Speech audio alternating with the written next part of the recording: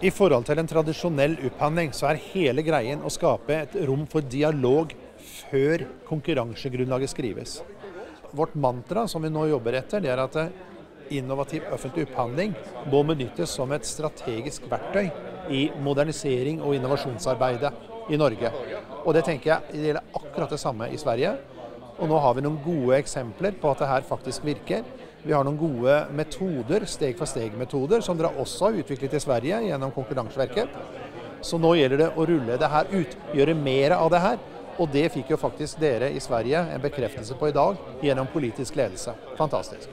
Vi tror på det här. Det är så enkelt. Och jag har inte hunnit säga detta. I morse fick jag besked av finansministern att, att vi får resurserna.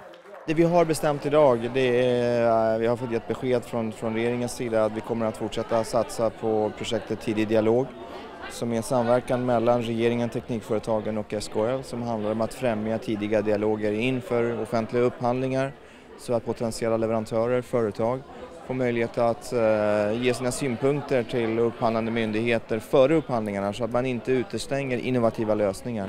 Det är ett sätt att praktiskt jobba med innovation i offentlig sektor i samband med inköpen. Hur mycket pengar satsar ni på detta? Det kommer vi återkomma till när vi presenterar budgeten.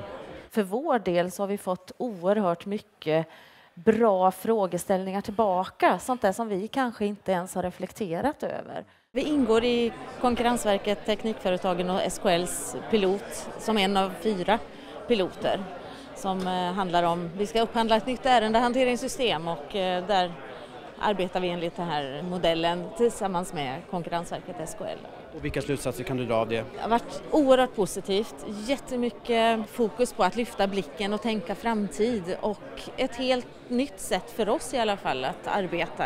Det har varit väldigt positivt. Dette er et område som jeg tror er svært nyttig for Sverige, som det har vært for Norge. Og jeg må jo også si det sånn at uh, hvis vi kunne klare å samarbeide om tingene, fordi vi har de samme utfordringene innenfor helse og omsorg, innenfor klima og miljø, innenfor IKT og digitalisering, så kan vi klare å gjøre ting i samarbeid, så vil det være fantastisk. Ja, vi har en bra dialog med, med kollegorna i Norge och vi avser att fortsätta den dialogen med de nordiska grannländerna.